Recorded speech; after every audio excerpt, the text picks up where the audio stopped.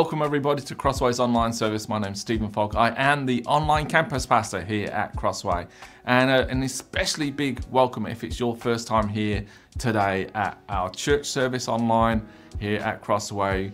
Um, wherever you're watching from, whether you're in Asia or South America or North America or Europe or the Middle East or Africa, wherever you're watching from, from any of those continents, you are always welcome to join us. Every single week, we do these services multiple times on the weekends. I know a lot of people watch these services back. So even if you're watching this back, a big welcome to you for this service. Hey, we've got lots coming up in this service.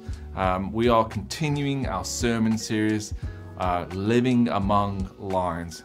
And Pastor Mark Purser is going to be preaching the word to us today and we have James and the team leading us in worship. So be expectant of what God is going to do in your lives. I know He's got incredible plans for your life. Um, and for some of you, just you bursting at the seams wanted to know what they are. But just be expectant, open your hearts and minds to what God will say throughout this service. If it is your first time here this week, big welcome go dive into the chat and let us know where you're watching from. Would love to know where you're watching from. So go ahead, if it's your first time, last, you know, you've been here a hundred times, go and welcome people uh, if they're in the chat there for the first time. Let's be a welcoming community online, whether you're on Facebook, YouTube, or on our church website. I will be in the chat later on. I'd love to say hello to you as well. Let me pray for our service today. Jesus, I thank you for who you are. I thank you that no matter what is in front of us today, that you are there. No matter what challenge we're facing, no matter what circumstance we are facing today, you are bigger than that circumstance right in front of us. So I just pray that we'd be able to put that to one side right now, that we'd be able to focus on this service, open our hearts, open our minds to what you would have to say through this book of Daniel. What an incredible book. Uh, would you speak to us ever so clearly today? Pray this in Jesus' name. Amen. Amen. Hey, again, doubly big welcome if it's your first time. Dive into the chat. I'm sure a couple of people are chatting in there right now. So go ahead and be brave and do that. One of the things we love for people to do every single week is to take a step. And the step that you could take is to step into authentic community here at Crossway Online. One of the ways that you can do that is by joining our online Facebook group. The team will pop a link into the chat where you can join that group and I say hello to everybody on the inside as you are entering. I send you an email, I'll send you a Facebook message so to be sure to watch out for that message because I love saying hello and getting to know you more. And one of the reasons why I want to get to know you more is to help you find your place in our community. Uh, and I speak to people all over the world and locally here in Melbourne as well. So um, we love to, to connect with you in that group. We also love for you to find a place in an online life group where you can go deeper with people uh, and, and share your faith and read the Bible together and pray together. Uh, so there's those opportunities are there for you as well. Uh, every single week I say that the mission of God is in the hands of ordinary people like you and like me online. Uh, and one of the ways that you can sh- share this service and live out that mission is by sharing the service literally. Uh, so if you're on Facebook, you can literally hit the share button. You can tag someone in the chat right now, invite them to watch with you, or you can send it to them via a message. If you're on YouTube, you can subscribe to our channel. You can share it. I know lots of people share our YouTube services. Even if you're watching this back, share it. Uh, you can send a WhatsApp message, Facebook message, a text message go ahead and share the service. You never know what God is going to do with your step of faithfulness to your friendship network, to your family network, to your work network. Let's join the team now. Let's open our hearts and open our minds to what God is going to say to us, and let's worship the Lord our God.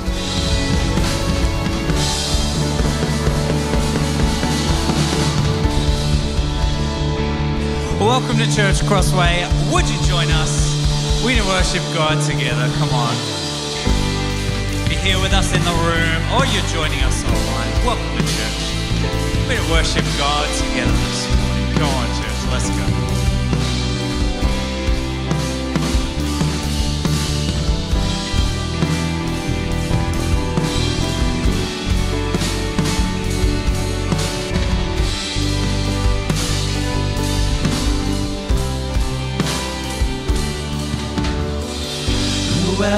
when rocks cry out to worship. His glory taught the stars to shine. Perhaps creation longs to have the words to sing. But this joy is mine.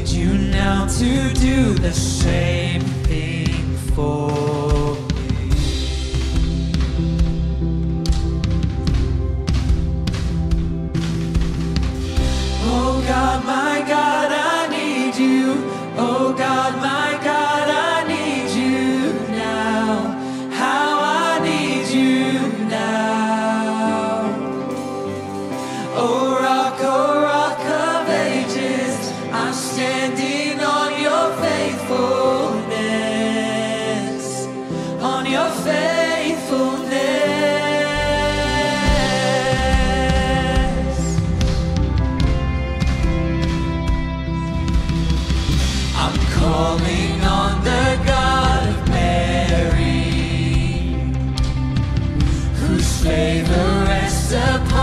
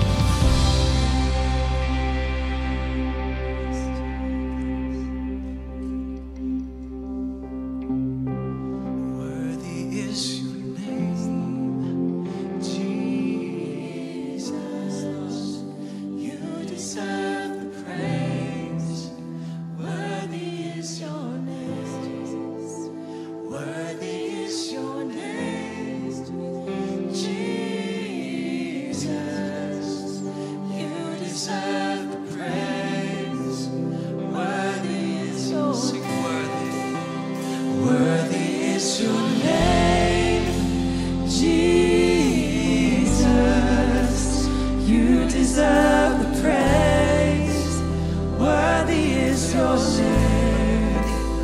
Worthy is your name, Jesus. You deserve the praise. Worthy is your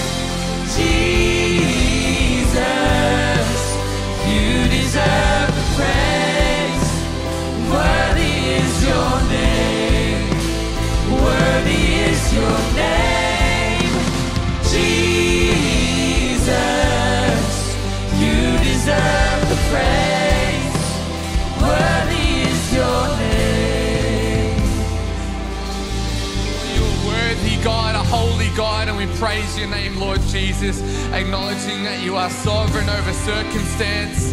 You're sovereign over sin and sickness and all the brokenness in the world. And Lord God, because of you and who you are and what you've done, we can turn to you, knowing that you are worthy to be praised. And so we put our trust in you today, Lord God.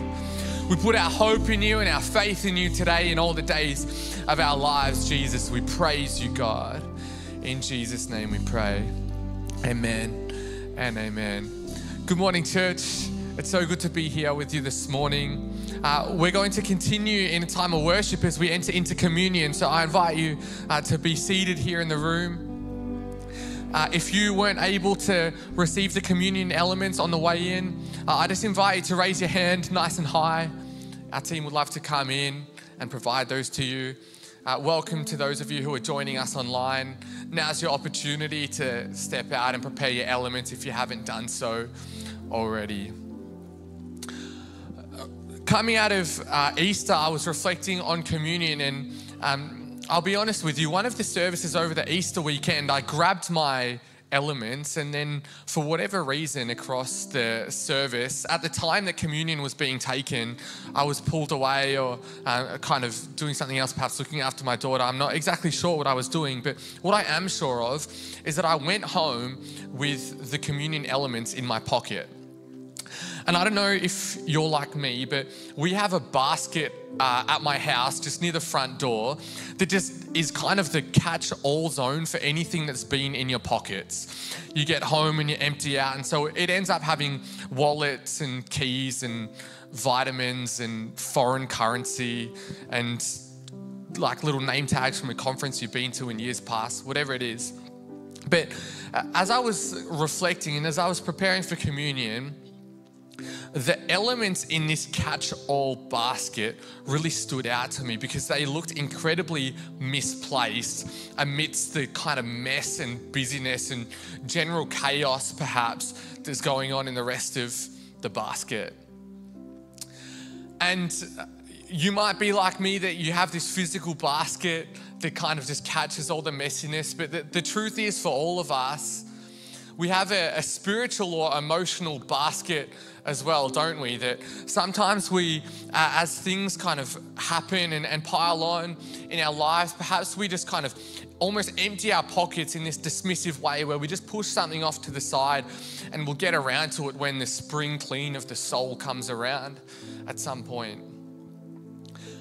And as we were, uh, as I was preparing, uh, as wrong as it looked to physically have the elements uh, amongst the mess, I really felt that the Lord was saying uh, that the elements spiritually are not to be thrown to the side or buried or pushed away or treated in a dismissive manner.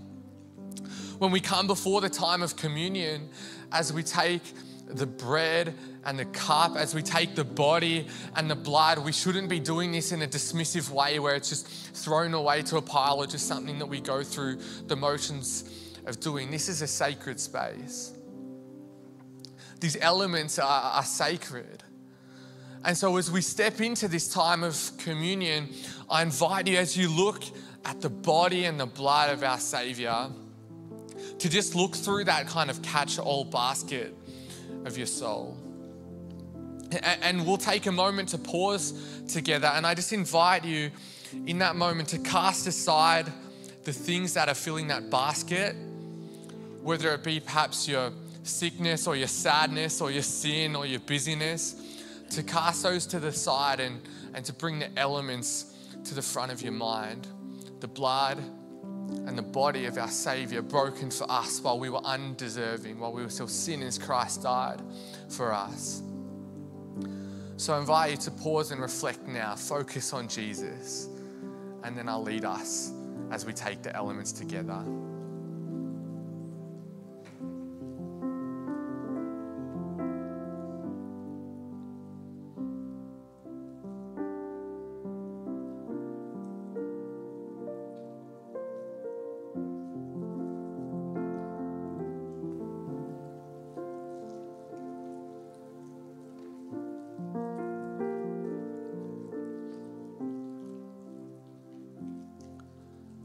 Church, on the night that Jesus was betrayed, he broke bread, and after he'd given thanks, he said, This is my body given for you. Do this in remembrance of me. Church, let's eat together.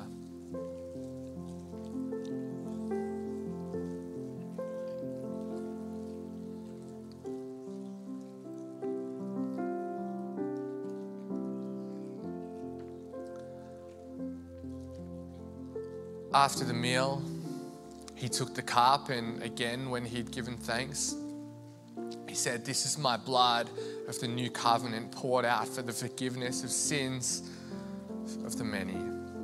Drink this in remembrance of me. Church, let's drink together.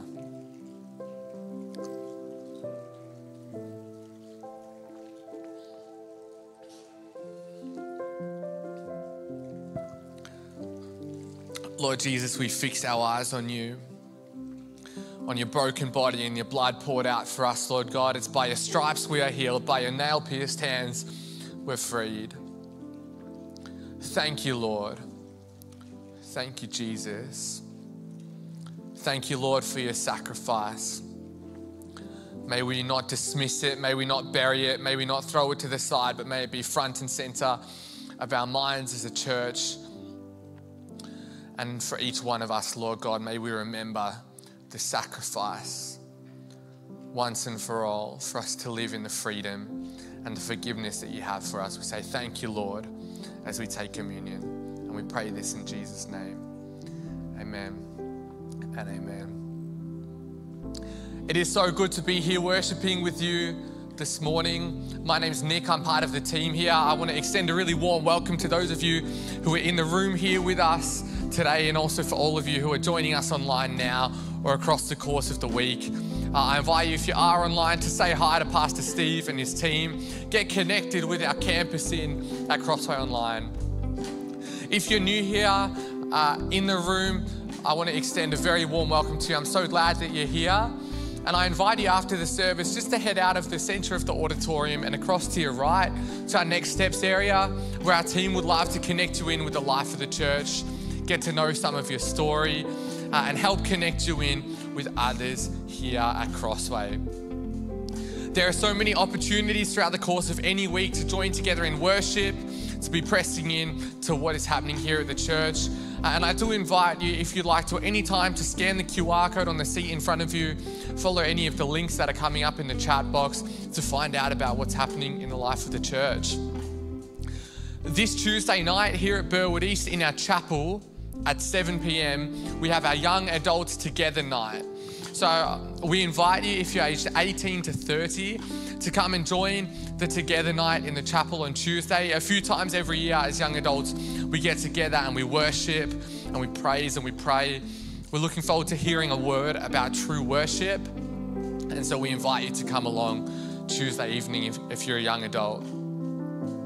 On Thursday morning at 10 a.m., also in the chapel, we invite you to our midweek worship service, uh, our traditional worship service. And uh, this week, we're really excited to be hearing from Pastor Stuart Robinson. It's going to be a fantastic time of ministry.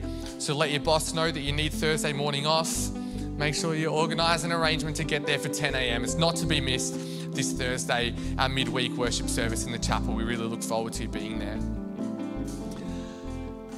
As we enter into a time of prayer now, we acknowledge the mission that God has set before us here at Crossway is one for our city, for the nation, and for the nations. And uh, as we step into a time of prayer, uh, today we will be praying together um, for the tragedy that occurred in Bondi yesterday, for the massacre, for the, um, the victims and, and all the onlookers and all those that have been touched by what is just an awful situation. Uh, we're so aware that we live in a world desperately in the need of the Lord, and so we really reach out, particularly to our Oak City family um, up in Sydney. We're, we're, praying for you guys, um, and so we'll join together and pray uh, for them, but also beyond our shores. Um, we also acknowledge there's been a significant earthquake in Taiwan recently with thousands injured uh, unfolding in recent hours is a terrible missile attack being launched directed toward Israel as well. Isn't there just so much in our world that needs the intervention of our Savior? And so, as we pray, I invite you as well to call to mind those things uh, that you are aware of and sensitive to uh, across the world. We'll be praying uh, for every situation that needs Jesus. So, will you join me as we pray?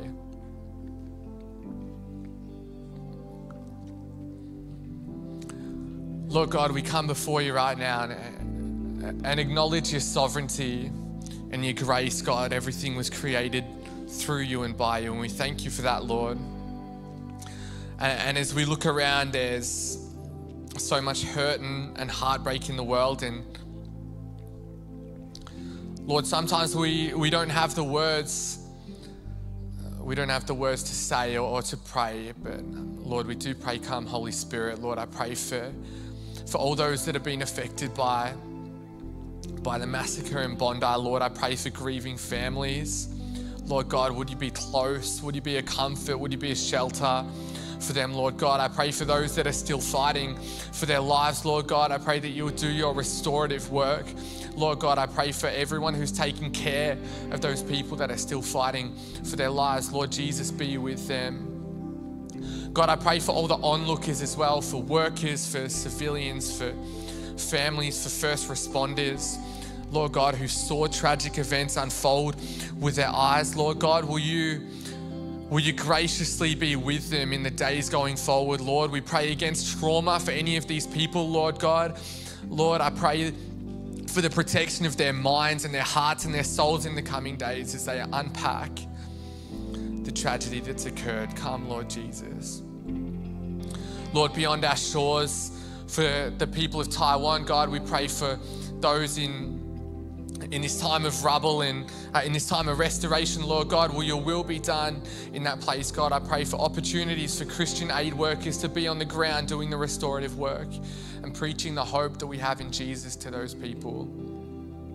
Lord, for the situation in Israel, God, we ask that you would come by your Holy Spirit. Lord, we ask for such a sense of protection over that place. Lord God, we pray that Israeli people would be turning their eyes to you, Lord Jesus. We pray for situations all across the world that desperately need you, Lord God. Would you be present? Lord, would people turn their eyes to you and focus on you and see the hope that comes through knowing Jesus in, in a world that without you, perhaps seems dark and devoid of hope, Lord. So we turn our eyes to you and we fix them on you, Lord. As we bring our tithes and offerings to you, Lord, we acknowledge the work that's happening at Crossway that is seeing people come to know Jesus in our city, nation, and nations, Lord. We pray that you continue to do your good work, that you flourish our tithes and offerings, that they would be used to be a blessing to many. Again, Lord, that they would be used so that many would come to know you, Lord. We commit ourselves to you now. We commit the rest of this service and our days ahead to you, Lord God. In Jesus' name we pray. Amen and amen. We are in our time of tithes and offerings now, so I do invite you. You'll see that there's containers at the end of your aisles. Uh, if you're on the end, if you could please um, pass those toward the center of the auditorium, uh, and then we'll pass our attention to Pastor Mark as he comes to bring the word to us today. Thanks, Mark. Thank you, Nick, for leading us so well and so sensitively this morning. Good morning, everyone. Let me say that again. Good morning, everyone. Good morning. It's good to be with you. Hey, good morning to those of you who are watching online too. Good to be with you. And also our southeast campus. Uh, this morning you were you didn't have access to your usual venue, so you are watching this service across a variety of homes in watch parties. So southeast, great to be with you, and great to be in community with you in our Crossway Church. We hear lots of great things going on in your campus and all the fruit of the ministries you're involved in. And so we just be aware that we encourage you, and we're often cheering for you back here at Burwoody. So good on you southeast. Hey, today we're going to continue our Living Among the Lions series as we track the story of Daniel. But today, it's interesting in the narrative we're going to look at today, Daniel is strangely silent, and the spotlight is very much on his three mates. Three guys who were thrust not just into the spotlight, but wow, facing this huge test of faith. The heat was on. Will they wilt under extreme pressure? Or will they courageously stand firm?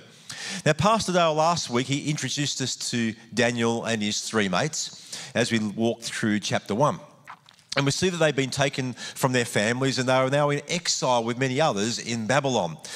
And all four of them were given a bit of an education. They were uh, given some duties, or they've been trained for palace duties.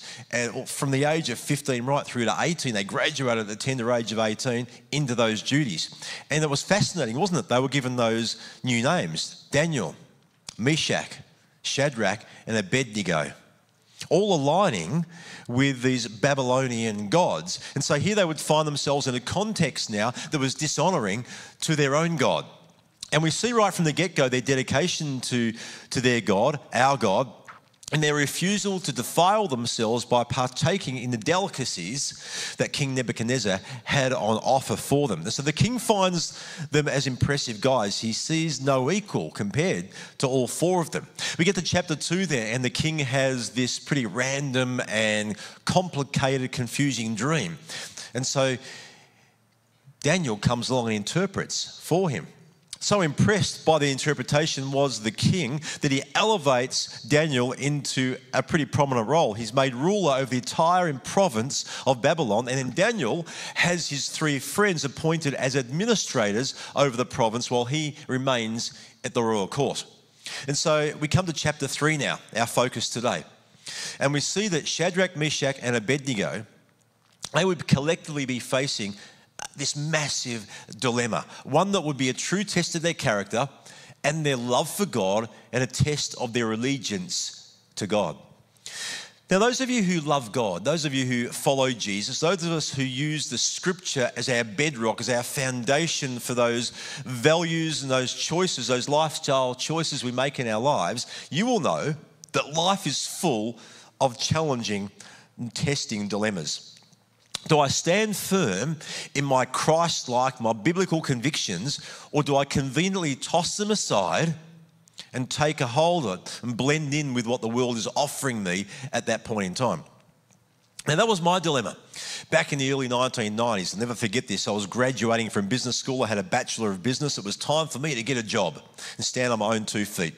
And so I went on this extended holiday after my studies had finished, and I came home and I had the, uh, the, the, long locks, the old bogan cut. I got it all cut off so I looked trim and I looked nice and really presentable for my interviews. Had my first lot of interviews with Kenworth Trucks.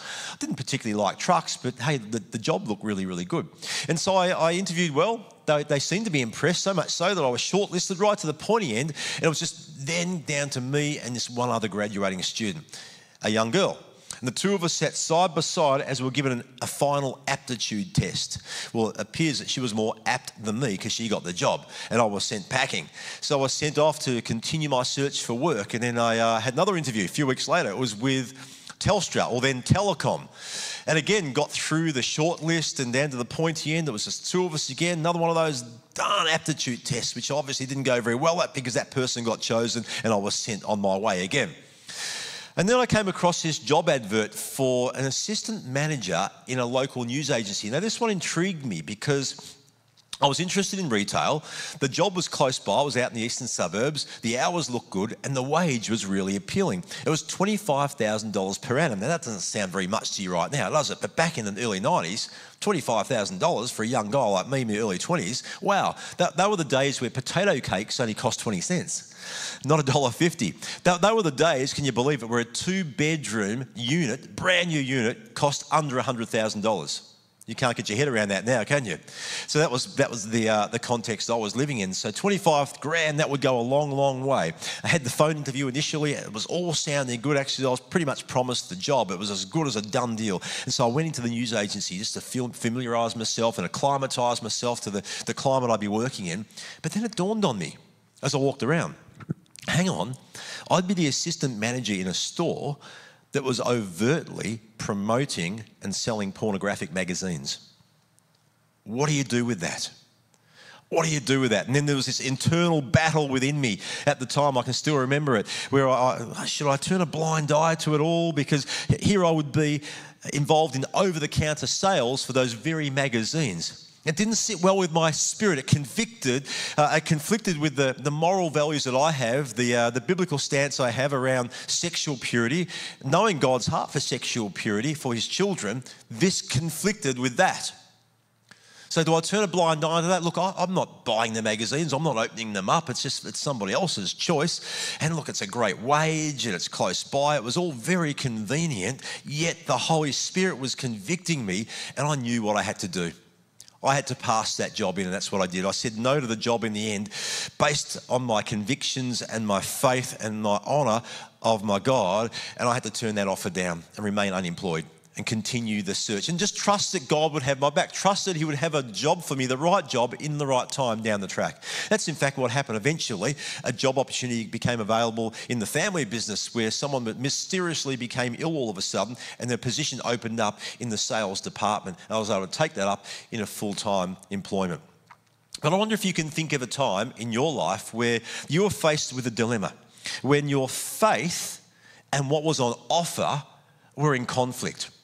I can think of a couple of examples. Some of you might even be able to relate to this. I've seen this happen in many of the churches I've been involved in over the years. That is, perhaps you're single, but you're yearning for that life partner, that soulmate that you can do life with. And so you go on a bit of a search for that partner and you, you find someone. This could be the one. There's sparks, there's fireworks. You've got a lot in common. You laugh together. You, you love telling stories. It's just, it's, it's all good. There's only one problem that person doesn't love Jesus like you do. That person's happy for you to have your faith, but not at all interested in actually exploring that for themselves. What do you do with that? Desperately in need of companionship, wanting a soulmate for life. And, but you know what the Bible says about being equally yoked as you move into a marriage relationship. What do you do with that conviction? Do I just toss that aside for the sake of this relationship? Or do I hold firmly and honour God's heart for that relationship and just wait and believe He's got someone else for me? Or do I start missionary dating? And anecdotally, I reckon missionary dating has about a 10% success rate from my experience. Well, what about tax return time? Have you been in that situation where you've been filling out your tax return and you think to yourself, you know what?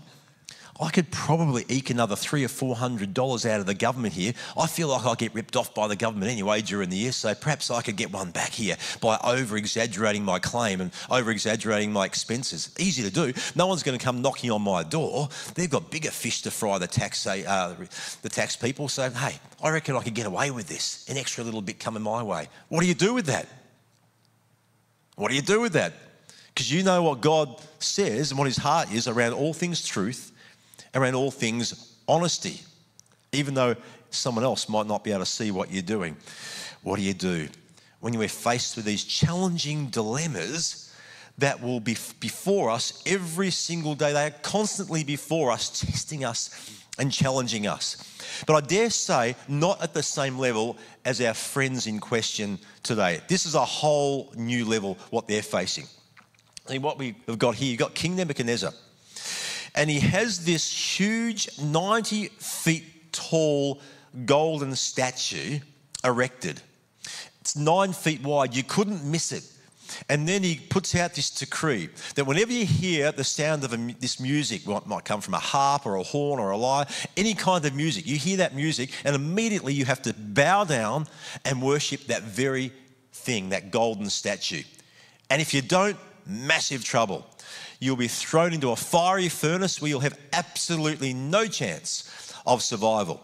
And then we find the king is absolutely furious because he's made aware that Shadrach, Meshach, and Abednego don't want to have a bar of serving any of the gods that Nebuchadnezzar was putting before them. And certainly they were never going to bow down and worship this huge 90 feet tall golden statue. So he summons them into his presence and he threatens them with the fiery furnace. Come on, you guys got to bow down or you're getting thrown in. And he infers that no God, there is no God that can save you from that furnace. What a dilemma. What are they going to do? Do they fold? Do they simply blend in with the culture of the day and just do what everyone else is doing? That would be the easy thing to do. Will fear win the day? Or do they stick to their convictions and do they honor their God in their response? So let's have a look at how they respond. In Daniel 3, verse 16, Shadrach, Meshach, and Abednego replied, O Nebuchadnezzar, we do not need to defend ourselves before you. If we are thrown into the blazing furnace, the God whom we serve is able to save us. He will rescue us from your power, your majesty. But even if he doesn't, we want to make it clear to you, your majesty, that we will never serve your gods or worship the gold statue that you have set up. Wow, what a response. In the heat of that moment, what incredible courage. Now, last week, Pastor Dale highlighted Daniel's conviction and Daniel's allegiance to his God, our God. And he fleshed it out and applied it to our lives and encouraged us that as we develop our biblical and Christ like convictions, we do so and hold on to them graciously. I want to add to that today and suggest that as we develop our convictions, we hold them not just graciously, there'll be times where we need to hold on to them courageously, just like these three guys. Because there is a cost to discipleship, make no mistake, there'll always be a cost. Uh, the question is, will be, we be willing to count that cost? To step out in obedience, to cop the heat that will come when you go against the grain of the culture that we live in. And if you're not copping any heat in your life, it might suggest you're not going against the grain, setting yourself apart from that which is evolving around you to stand firm in what you believe. Those things that honor God and is consistent with those biblical and Christ like values. These guys, they literally put their bodies on the line. They're willing to die rather than compromise their faith. So I want to highlight just four things that I trust encourage you today that might even challenge you that I take from this passage today. I've made it easy for you. They all start with the letter C, the first one being conviction. Conviction is very much at play here. So these guys, they knew that there was only one and only true God worthy of their worship. And that was based on this long held belief that they had that was embedded not just in their minds, but very much in their hearts. Uh, and conviction will always be aligned with belief. If you don't really know what you believe, you're not going to stand for much. You'll waver. If you don't really know what you believe, your conviction will waver and you'll give in to anything that appears enticing at the time. It's a little bit like a, a tree that sways around in the breeze, but it'll be more like a hurricane. You'll get, it'll be, your tree will become uprooted. Why? Because you don't stand for anything. And these guys, they don't waver, they don't even flinch an inch, facing off with a furnace with faith that is unshakable and a conviction that is absolutely unbreakable. An astounding example and model to us. Picture yourself in their shoes as I do. What would I do in that situation? What would you do? in that situation. Flames, the imminent flames that would be leaping all around of you, a, a very clear decree from the king of all people, the, the promise of death that awaits, what would you do?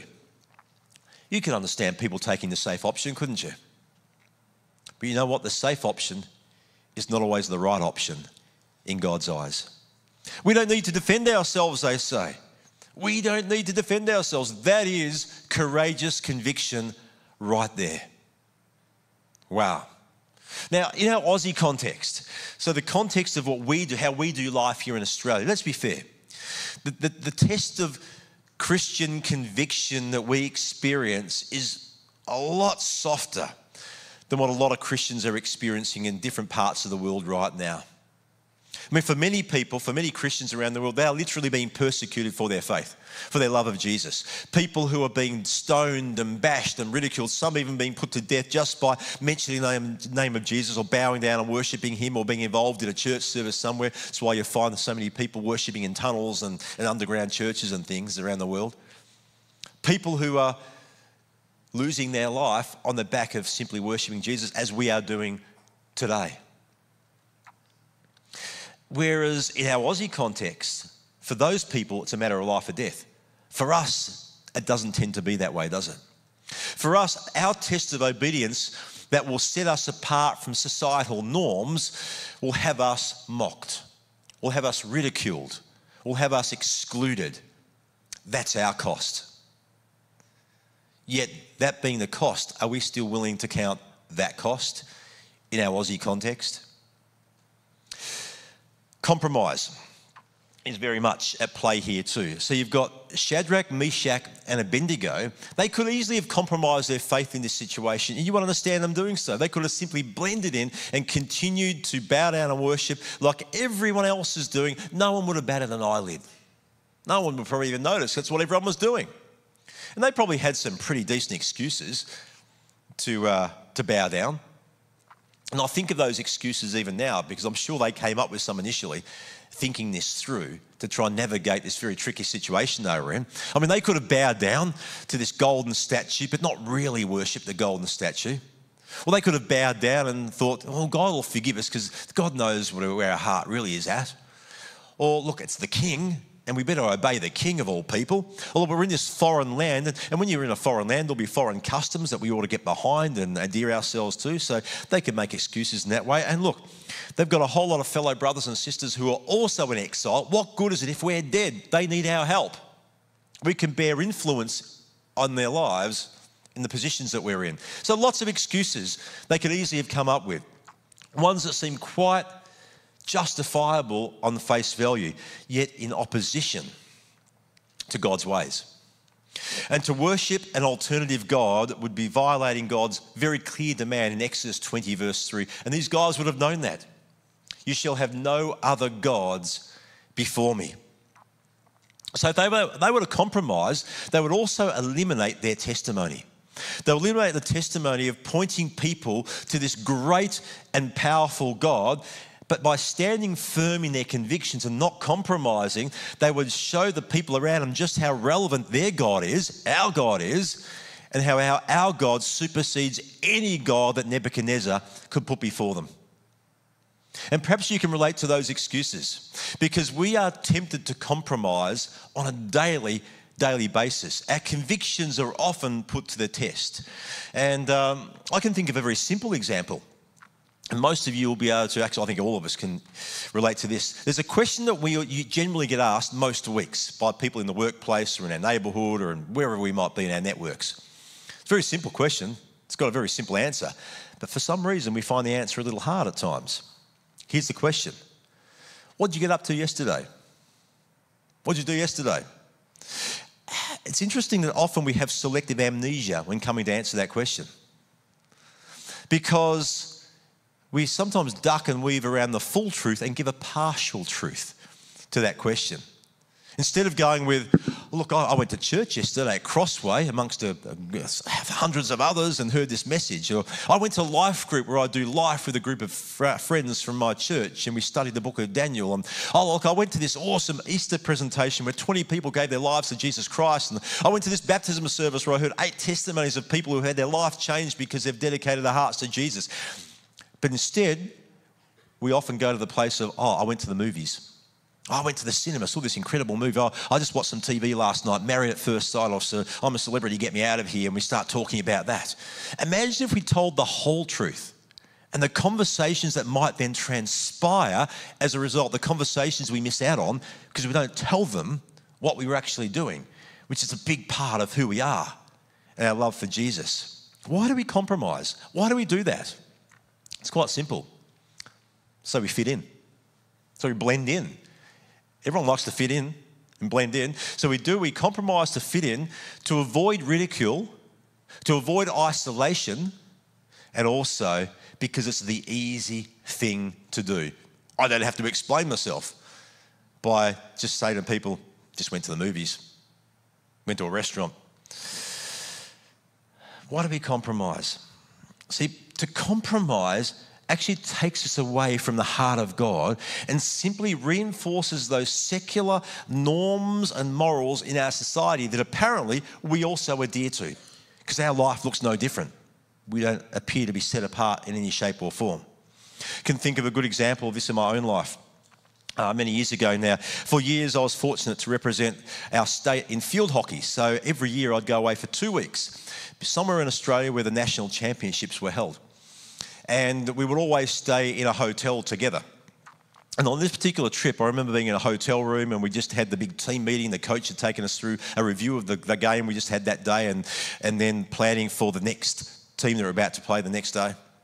At the end of the meeting, it all finished. He said, okay, we're going to have some entertainment now. And I thought, oh no, where's this going? Knowing the sort of entertainment a lot of these guys were into. And sure enough, we sat down and presented with a pornographic movie that we were going to watch together as a team. What do you do with that? As a Christ follower, as a Jesus follower who has biblical convictions to live by, what do you do with that? Well, you know, I danced around with it in that moment because, again, I had some excuses. I could easily have compromised. After all, this was my team, and you've got to do things as a team. You hang together. You can't walk out on your teammates, can you? Whatever it is that you're doing together. And I started to justify, well, perhaps I can close this eye and, and squint the other eye and sort of just look through like that, and I wouldn't see anything. And, oh, gee, it might be interesting anyway. I might, I might learn a couple of things. And I, and I was going through all these reasons to blend in. But instead, I chose to walk out. And I can still remember it as clear as day as I walked out. I got insulted, I got teased, they were throwing barbs at me as I went. But you know what? That was ridiculing and teasing I continually received from the same sorts of teammates for years as I walked away from many other situations like that. Based on the convictions that I had around things like sex, alcohol, gambling, and foul language. I was different. I was different to all the guys. And I was happy to be different. And you know what? I should be different because God calls us to be set apart, that our lives will look different, but the heat will come. The ridicule will be there. Make no mistake. And that was my experience too. But if I was to compromise in those sort of situations, and there are others like that, my life would bear no testimony. There'd be no testimony to my faith, and it would be dishonoring to God in the process.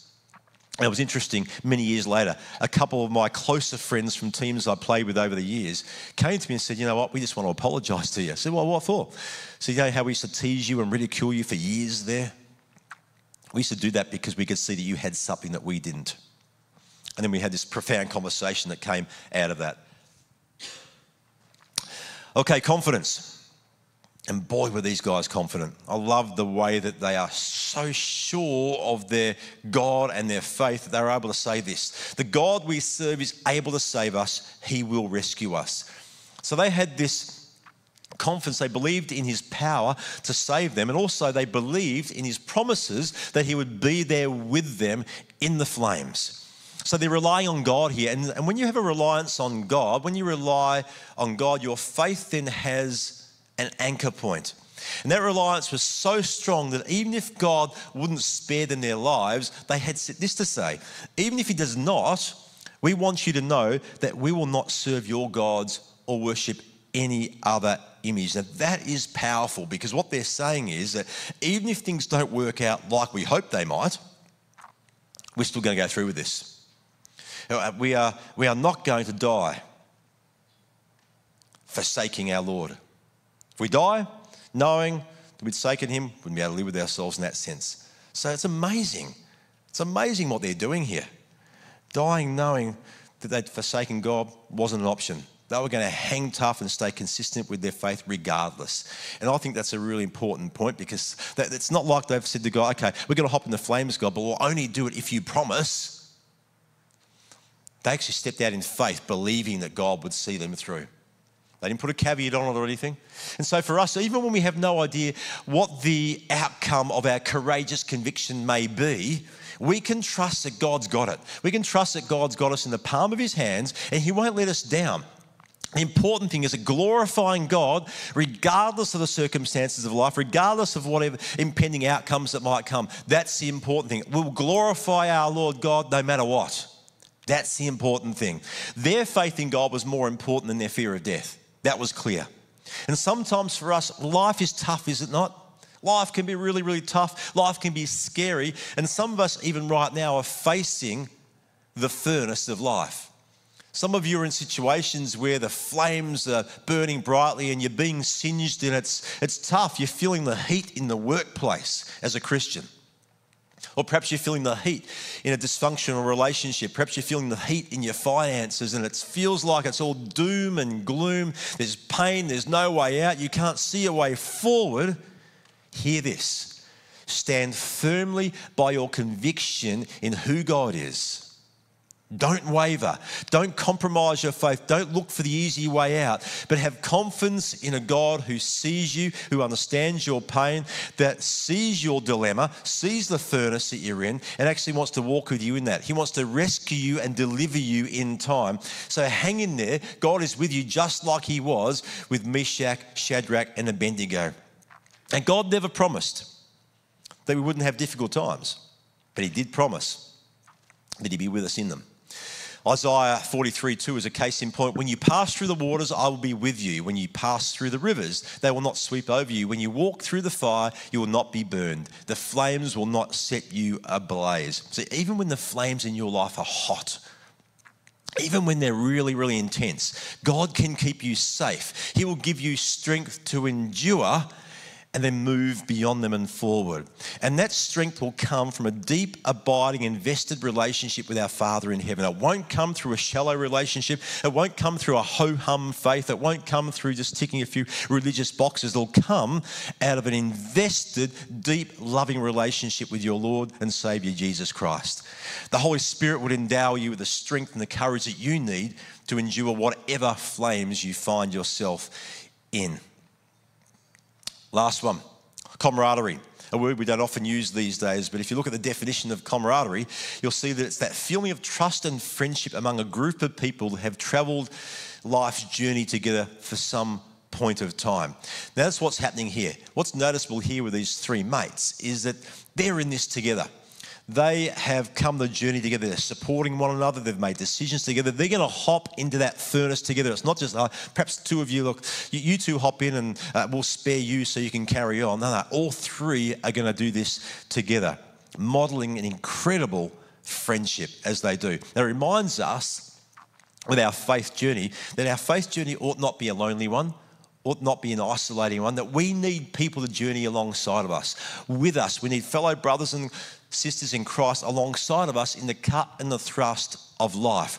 It's why we often, in the context, and I say this to our friends at Southeast and online as well, we talk about the importance of being in life groups together. We say that not just for numbers' sake, but for life's sake. Because in life groups, it's where you get to journey with other fellow believers. You get to champion each other, you get to support each other, you laugh together, you cry together, you eat together, you open the word together, you pray for one another. It's a wonderful, life giving space to be a part of. We talk about the importance of being mentors in our lives, giving permission to someone to say the hard things to you when you need to hear them first and most. Have people supporting you and speaking into your life. There is great strength in relationship. It's where iron sharpens iron. It's where wisdom is sought and received. It's where prayer is received. It's where practical, emotional, and spiritual support can be given during the really hard times and the tough times in life. We need each other in our journey of faith. Don't fight the flames by yourself. And men, you need to hear this in particular because men, we are notorious at internalizing and keeping things in here, thinking it's a show of weakness to cry out for help. It's not a cry, it's not a show of weakness, it's actually a show of strength to speak up. I encourage all of us, don't fight your flames alone. Share your struggles, ask for help, invite people into your dilemmas because God uses our relationships to strengthen us and to grow us in our lives. It's like we're being Jesus to one another. So, with all of this, what was the outcome? What was the outcome for these three? Well, the king, he was furious. So he orders the, uh, the furnace to be turned up, the heat to be turned up seven times hotter than usual. So hot was it that the soldiers that tossed Shadrach, Meshach, and Abednego into the furnace, they died as a result. How's that for a job? That's how hot it was. Something amazing happened though. The king looks into the furnace and he sees three men walking around unbound. They're not tied up anymore. They're walking around in no apparent discomfort. It is absolutely amazing. And he sees a fourth guy walking around with them who he describes as a son of the gods. Now, that fourth person was obviously supernatural, an angel perhaps, but God sends some help, a heavenly visitor to accompany these guys, these faith, faith-filled guys, in their time of need, in their trial. The king calls them out of the fire, totally unharmed. No, no, hair on their head was even singed, their clothing not scorched. They don't, don't even smell of smoke. He was absolutely astonished, so much so that the king acknowledges that the greatness of their God, our God. And then he actually elevates them. He promotes these three friends to higher positions in the province. They're rewarded for their firm and unshakable conviction unshakable faith. So let me say, when we hold firmly, when we hold firmly to our convictions, and we disregard compromise and set it aside, and we exercise a confidence in God and who He is, and even doing so together, people are watching. People are noticing how you deal with the furnace in your life the choices that you're making, the decisions you're making, the context of your life, whatever my people are watching. They're always watching. The king was watching. The king noticed and he was moved to respond. Yes, he elevated them into these higher positions, but also there was he was that the conception. He conceded that their God was the one true God. But what about Daniel as we come to a close here? Because here we are, we've uh, got a sermon series that is uh, honouring the name of Daniel in many ways. We're honouring God and highlighting Daniel's trajectory. Yet in chapter 3, no word of Daniel at all. It's quite intriguing. Not, not a word is spoken of Daniel's involvement in this narrative. What does that mean? Did he blend in? Did he bow down to the statue? We don't know because the scripture is strangely silent on that one.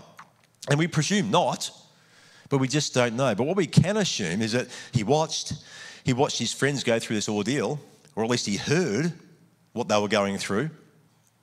But just like the king, we can only assume that Daniel was greatly impacted by his friends' role modeling here and their example. Why? Because I think we can make that assumption because as you fast forward through Daniel, you come to chapter 6 and something similar was happening. It was the then King Darius of the day says to the whole nation, You will bow down to me, you will pray only to me and no other gods. And that was the decree that he set. And if you were seen praying to anyone or anything else, you'd be sent into a den of lions, a little bit like the furnace, hey?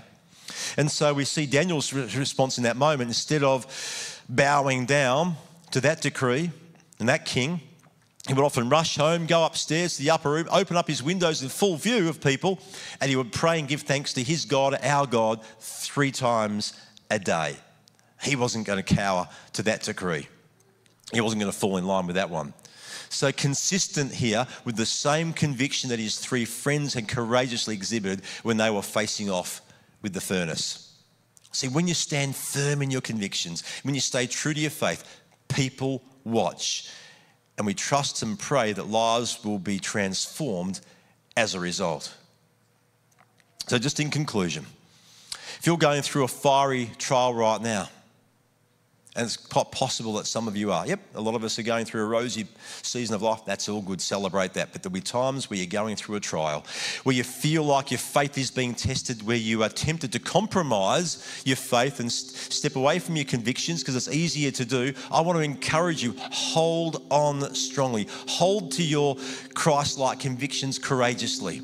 Don't waver. Stand firm and trust that God will bring you through because He will. It may not be easy, it may not happen today, it may not happen tomorrow, but like Meshach, Shadrach, and Abednego, you are not alone in the fire. Your God is with you. He's with you every step of the way. He's protecting you. He's walking beside you. He's in the flames with you. Don't lose hope as you face your furnace because you face it with God right alongside of you. He is with you. And may your testimony bear witness to His greatness for those who are watching on. Let's pray together. Lord God, we are very grateful for this, this narrative, this story that we tell today.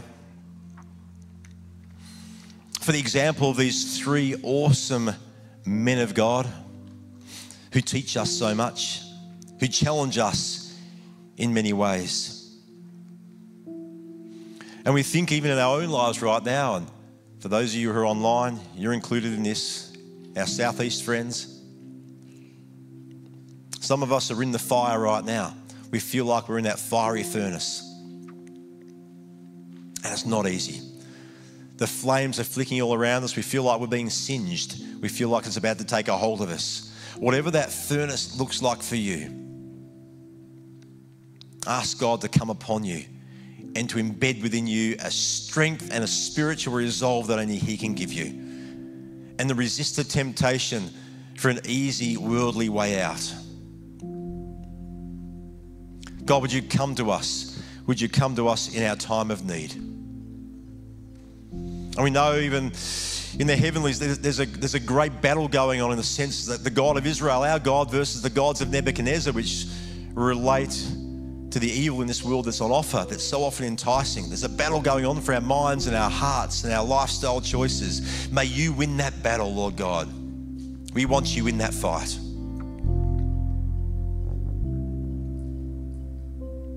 And may we have the strength to stand firmly, day by day, by our Christ like convictions, ones that would honor you in the process. And we want to thank you too, Lord God, that ultimately there is great victory. We think of the, uh, the flames and the furnace that is referred to in the New Testament Gospels.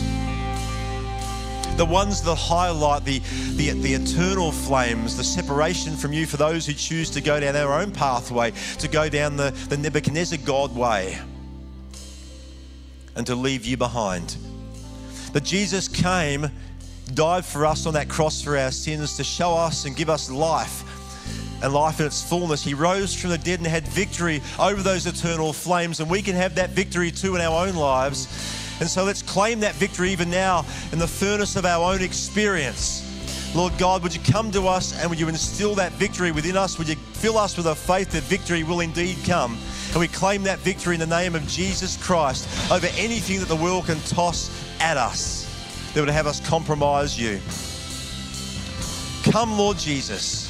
Holy Spirit, touch us afresh and may we walk in the victory that is ours in Jesus Christ, in whose name we pray.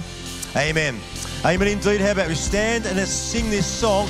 Sing it in that spirit of victory in your life. Let's sing in faith. There is another in the fire standing next to me.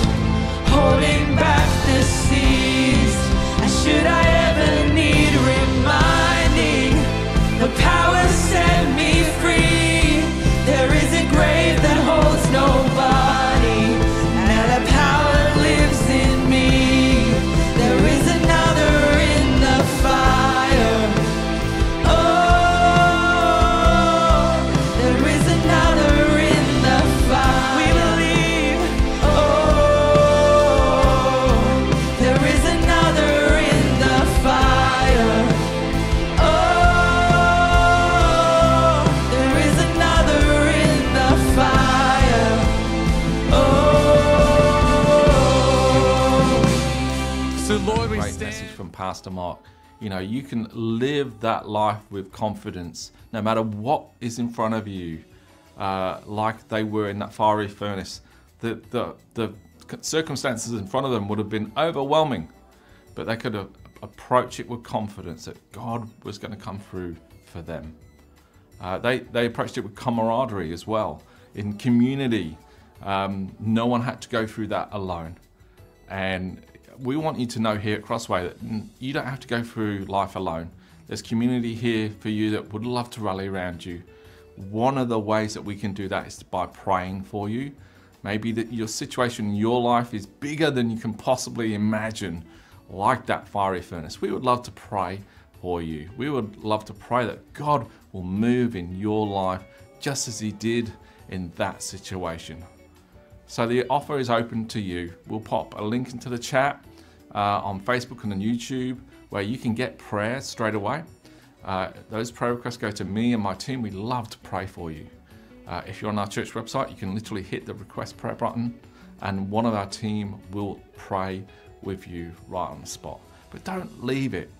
You know, I know I get your messages every week. Some of you are dealing with really tough circumstances. That fiery furnace is right in front of you and you need prayer. Only God can change the outcome. So go ahead, share uh, with each other in the chat. If you want, if you need prayer in the chat, you can go into the chat, or you can click on those links. We would love to pray for you. Really, really important. Maybe after this service now, you've gone, whoa, I know someone that needs this message. I know someone that needs to hear it.